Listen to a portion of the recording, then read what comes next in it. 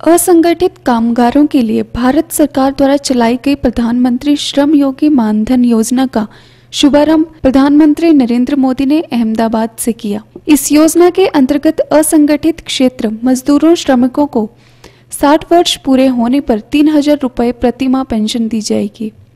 सोलन में प्रधानमंत्री श्रम योगी मानधन योजना का शुभारंभ सांसद वीरेंद्र कश्यप ने किया। इस योजना के अंतर्गत पात्र मजदूरों श्रमिकों को सांसद वीरेंद्र कश्यप ने इस योजना के अंतर्गत कार्ड वितरित किए। भारी संख्या में मजदूर श्रमिक ने इस कार्यक्रम में भाग लिया। सांसद वीरेंद्र कश्यप ने इस योजना के लिए प्रधानमंत्री नरेंद्र मोदी का आभार प्रकट करते हुए कहा कि इस योजना से असंगठित क्षेत्र के कामगारों को लाभ मिलेगा और उन्होंने कहा कि इस योजना से 60 वर्ष की आयु के बाद इन मजदूरों को प्रतिमाह तीन हज़ार रुपए तक पेंशन मिलेगी।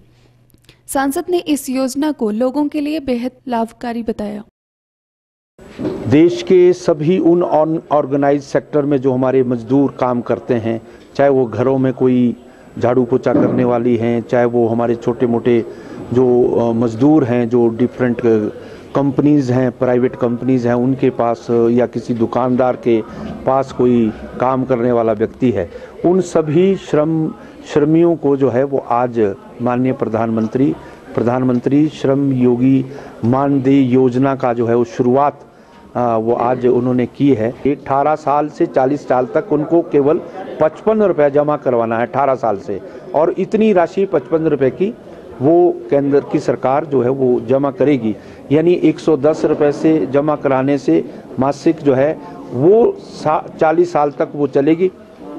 और उसके बाद जो है साठ साल के बाद वो जो है तीन हज़ार रुपये की पेंशन उस व्यक्ति को, उस मजदूर को, उस बहन को जो है वो मिल जाएगी जब वो यानी थोड़े वृद्धावस्था में होगी। तो इसलिए ये बहुत बड़ी स्कीम है और इस देश के सभी श्रमिकों के लिए मैं समझता हूँ कि एक बड़ा तोहफा माननीय नरेंद्र मोदी जी के माध्यम से मिल रहा है।